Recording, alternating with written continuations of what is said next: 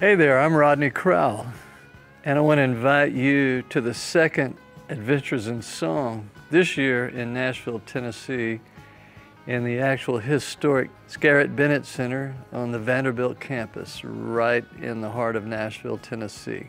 This year, the instructors that I've asked to join us are Beth Nielsen Chapman, Allison Moorer, Allen Shamblin, and John Paul White. We'll also have special guests Peter Asher and Rosanne Cash and players yet to be named. So join us. It's from July 23rd through July 27th, 2020. Adventures in Song in Nashville, Tennessee.